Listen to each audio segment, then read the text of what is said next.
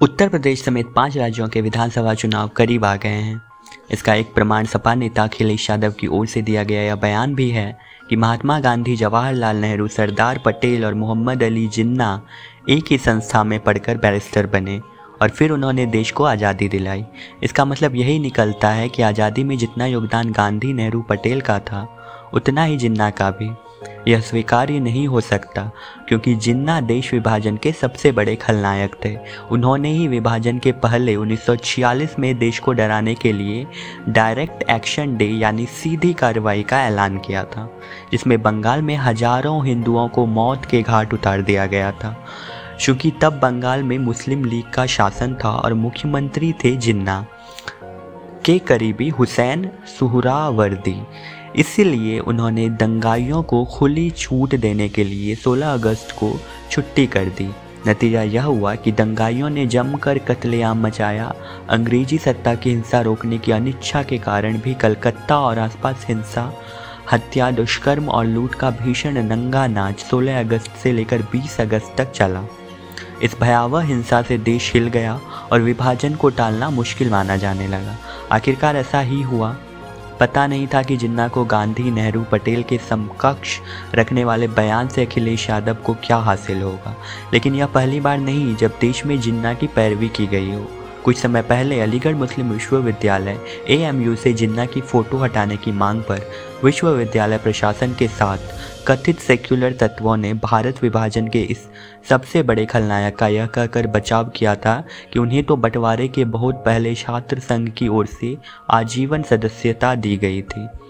यह एक कुतर्क ही था, लेकिन एएमयू छात्र संघ की हट धर्मी के कारण जिन्ना की फ़ोटो वहाँ सलामत रही, अलग मुस्लिम देश की जिद पकड़ने के पहले के जीवन काल का उल्लेख कर जिन्ना की तारीफ़ करने का काम लाल कृष्ण आडवाणी ने भी किया था।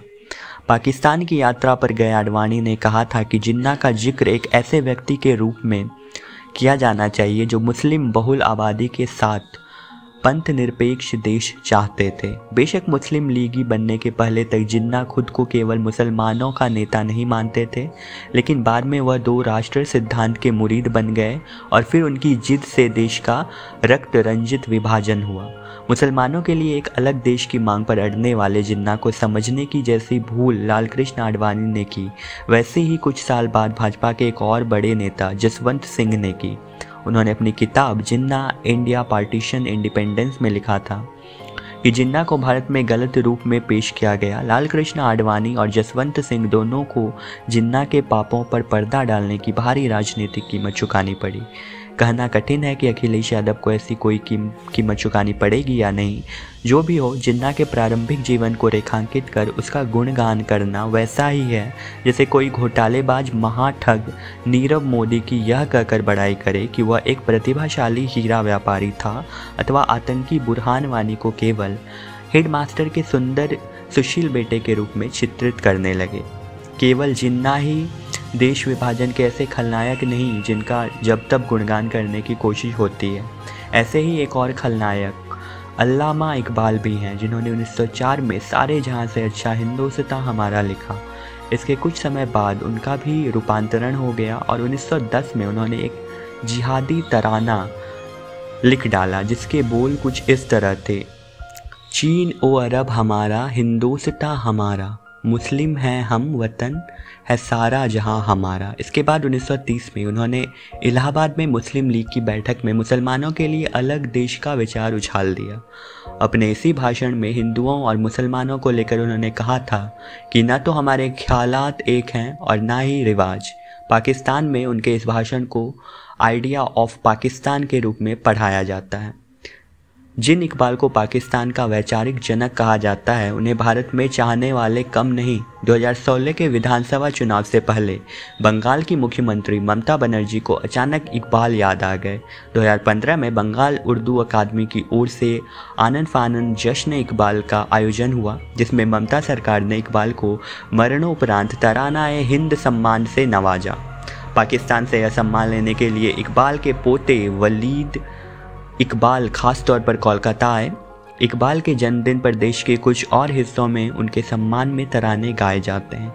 इस दौरान भारत विभाजन का आधार तैयार करने में उनकी भूमिका के साथ साथ वतन परस्ती को मजहबी, मज़हब परस्ती में तब्दील करने को भुलाकर केवल यह याद रखा जाता है कि वह एक उम्दा शायर थे, जो जिन्ना और इकबाल की पैरवी करते समय केवल उनके प्रारंभिक जीवन का उल्लेख करना आवश्यक समझते हैं। वहीं सावरकर के शुरुआती जीवन को भुलाकर केवल यह बताना पसंद करते हैं कि उन्होंने तो अंग्रेज़ों से माफ़ी मांगी थी। हो सकता है कि अखिलेश यादव की ज़ुबान फिसल गई हो, लेकिन यदि वह जिन्ना की पैरवी करना चाहते थे तो यह बहुत ही खतरनाक बात है।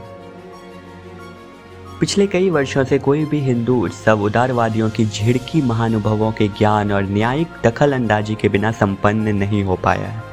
उनकी नज़र में यदि करवा चौथ और रक्षाबंधन पितृसत्तात्मक व्यवस्था का रूप है तो होली पानी की बर्बादी। इसी तरह इस वर्ग की नज़र में जल्दी कट्टू पशुओं से क्रूरता है तो गणेश चतुर्थी पर्यावरण पर आघात। मकर संक्रांति हो या दुर्गा पूजा, जन्माष्टमी हो या शिवरात्रि, इनके लिए हर त्यौहार हिंदुओं में लज्जा भाव उत्पन्न करने का अवसर है। हिंदुओं का सबसे बड़ा त्यौहार होने के कारण दीपावली विशेष रूप से निशाने पर रहती है। अन्य वर्षों की तरह कहीं शासनादेश तो कहीं न्यायिक आदेशों के द्वारा पटाखे प्रतिबंधित कर दिए गए हैं। साथ ही खिलाड़ियों, अभिनेताओं और तमाम विज्ञापनों के माध्यम से दीपावली ज़िम्मेदारी से मनाने के संदेशों का तांता लगा है। इन संदेशों का निहित अर्थ यह है कि हिंदू समाज अपने उत्सवों को लेकर गैर जिम्मेदार और अपरिपक्व है। निरंतर प्रचार के द्वारा दीपावली को प्रदूषण से इस प्रकार जोड़ दिया गया है। मानो वर्ष भर के प्रदूषण का कारण केवल दीपावली के पटाखे हों। यह सोच कितनी निर्मूल है। इसे आईआईटी कानपुर ने 2016 में अपने शोध द्वारा प्रमाणित किया था। इस शोध में दिवाली के पटाखों को दिल्ली के प्रदूषण के शीर्ष पंद्रह कारकों में भी जगह नहीं मिली थी। इसी प्रकार एनजीटी और केंद्र प्रदूषण नियंत्रण बोर्ड की रिपोर्टों में भी दिल्ली के प्रदूषण में दीपावली के पटाखों का कोई प्रमुख योगदान होने की बात नहीं आई थी, परंतु चाहे सरकारें हो या पर्यावरणविद या फिर एनजीओ और न्यायालय प्रदूषण को नियंत्रित करने के लिए मात्र दीपावली के पटाखों पर रोक लगाकर सबने अपने कर्तव्य की इतिश्री समझ ली है। सड़कों की धूल वाहनों का धुआँ, इमारती निर्माण से जनित गर्द, औद्योगिक इकाइयों, कचरा तथा पराली जलाने से उत्पन्न धुआँ, कोयला और फ्लाई ऐश वह मूल समस्या है जो दिल्ली में साल भर प्रदूषण का कारण बनती है। परंतु दिवाली के पटाखों के अतिरिक्त इन कारकों पर किसी की चिंता नहीं दिखाई देती। पटाखों पर दुष्प्रचार का प्रभाव ऐसा है कि न्यायालय ने सबसे सुरक्षित माने जाने वाले उस ऑक्सी कारक बोरियम नाइट्रेट को प्रतिबंधित किया है, जो सब्जियों में भी पाया जाता है।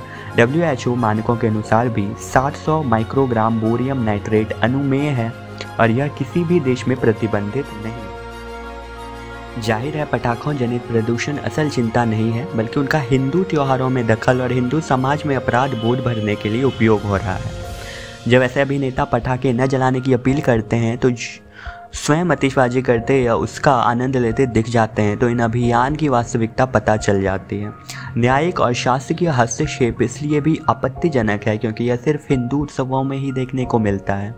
जो शासन सड़कों पर नमाज़ या लाउडस्पीकर पर अजान रोकने में अक्षम रहा है, उसने हिंदुओं के सबसे बड़े त्यौहार का उल्लास कुचल दिया है। कभी आवश्यक धार्मिक आचरण तो कभी धर्म के मूल सूत्र जैसे न्यायिक सिद्धांतों का हवाला देकर अन्य मजहबी विवादों में हस्तक्षेप से इनकार करने वाले न्यायालय हिंदू त्योहारों में न सिर्फ़ दही हांडी की ऊंचाई तय कर देते हैं, बल्कि भगवान अयप्पा के मूल नैष्टिक ब्रह्मचर्य व्रत को तोड़ने का फरमान भी दे देते हैं। न्यायपालिका के साथ साथ एक्टिविस्ट एनजीओ वर्ग की चिंता भी हिंदू त्योहारों पर ही व्यक्त होती है। टीवी स्टूडियो से लेकर विद्यालयों तक दीपावली नसीहतों का त्यौहार बन गया है। तुलनात्मक रूप से अपने सामाजिक जीवन में बेहद लचीले हिंदुओं से अपेक्षा रहती है कि वे पर्वों पर भी आज्ञाकारी बच्चों जैसा आचरण कर दोगले उदारवाद की कसौटी पर खड़े उतरते रहें। यहाँ यह समझना आवश्यक है कि त्योहारों का हमारे सामाजिक जीवन में अर्थ क्या है। बर्ट्रेंड रसल ने इसे बहुत खूबसूरती से व्यक्त किया है। रसल के अनुसार सभ्यता के क्रम विकास में मानव ने बहुत सी पाश्विक प्रवृत्तियों को दबाया है, परंतु साथ ही इस प्रक्रिया ने शिष्टता के ऐसे मानक गढ़े हैं, जिसमें मूल मानवीय प्रकृति के सीधे साधे मुक्त आचरण को भी दबाया गया है। पर्व और त्यौहार हमें बिना शर्मिंदा हुए अपने सरल, स्वच्छंद मूल प्राकृतिक आचरण को सीमित समय के लिए ही सही पर वापस जीने का अवसर देते हैं। उदाहरण के लिए, यदि कोई व्यक्ति ऑफ़िस से निकलकर बाज़ार में नृत्य करना शुरू कर दे तो वह अटपटा लगेगा। परंतु त्यौहार के उल्लास में समूह के साथ वही नृत्य सहज ही नहीं अच्छा भी लगता है। त्यौहार हमारे जीवन की निरस्ता को तोड़ते हैं। उनके हर पहलू में तर्क संगति और आधुनिकता के तौर तरीके ढूंढना मूर्खता है। यह नियमित न होकर क्षणिक आचरण है। सभी परिपक्व समाज इस बात को भली भांति समझते हैं। इसीलिए पश्चिम में टोमेटिनो जैसे आयोजन भी होते हैं और चुनिंदा मौक़ों पर जमकर आतिशबाजी भी।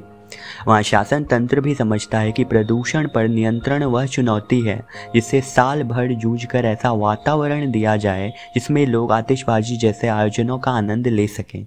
भारतीय शासन तंत्र को भी चाहिए कि यदि दिल्ली जैसे शहरों में प्रदूषण बड़ी समस्या बन, बना है तो उसके स्थायी समाधान खोजें। निश्चित ही ध्वनि मानकों का ध्यान रखा जाए, परंतु पटाखों के साथ हर प्रकार के ध्वनि प्रदूषण पर कार्रवाई हो। पटाखों पर पूर्ण प्रतिबंध वह तुगलकी फरमान है, जो न केवल सांस्कृतिक आघात है, बल्कि एक बड़े वर्ग को रोज़गार से वंचित भी करता है।